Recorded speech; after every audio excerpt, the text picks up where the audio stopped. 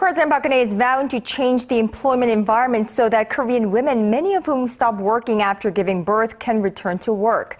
Speaking at a ceremony celebrating family-friendly businesses, President Park vowed to expand the financial and other incentives for companies that provide quality jobs to women with kids and increase the number of nursery schools nationwide.